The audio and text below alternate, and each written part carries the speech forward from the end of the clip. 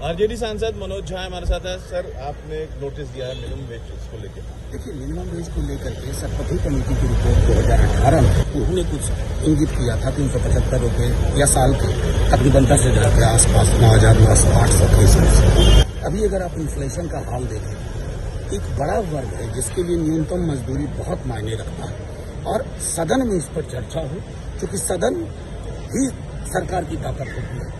और सरकार को फौरी तौर पर लोगों को रिलीफ देना चाहिए। अन्यथा जिस तरह का इन्फ्लेशन है पेट्रोल डीजल एलपीजी उसके बाद अगर न्यूनतम मजदूरी को हम रिवाइज नहीं कर रहे हैं, उस वनरेबल सेगमेंट के लिए तो ये सामूहिक चिंता का विषय है। रविकांत न्यूज़ दिल्ली।